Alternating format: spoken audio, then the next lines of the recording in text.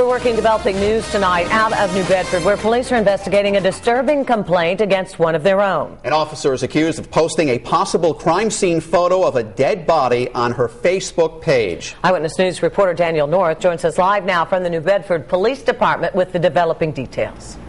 New Bedford police tell us tonight their first step is trying to figure out exactly where that photo came from and if it is indeed a real photograph. But they can confirm for us tonight that a female police officer here is under investigation for possible misconduct. This photo appears to show a possible crime scene. Now, we have blurred out the body in the photograph, but the entire picture was allegedly posted on a female police officer's Facebook site and included comments from two former police officers below it. Tonight, New Bedford police say it appears the victim may have died from a drug overdose, but they are not 100% sure if the photo is authentic. It looks like it could be a crime scene, but like an onion, there'll be a lot of layers to something like this. You'd have to try and source the photograph in terms of where it came from.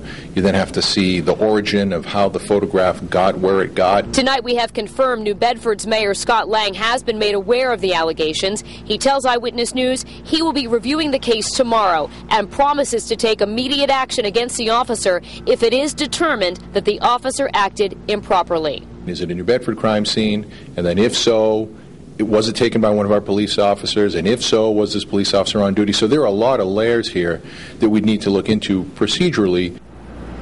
Now, just one year ago, a male police officer here in New Bedford was suspended for 30 days after he inappropriately used a photo of himself in uniform online. And as far as these latest allegations are concerned, well, police and the mayor tell us they are continuing the investigation.